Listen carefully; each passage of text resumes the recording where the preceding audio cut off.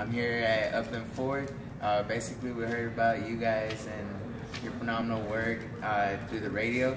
Um, how uh, a specific deal that interests me, and you know now I'm leaving extremely happy. I got my vehicle about about to be serviced out to me, um, and you know service here was great. Thank you.